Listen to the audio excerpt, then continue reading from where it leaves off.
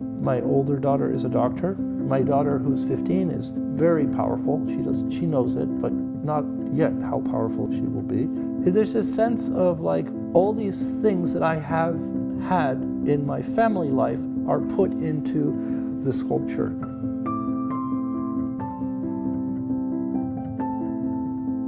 It's a 58 foot long bronze wall with 38 figures that tell this story of a soldier that leaves his daughter and family and goes to war. After the cost of war, exits that transformed forever.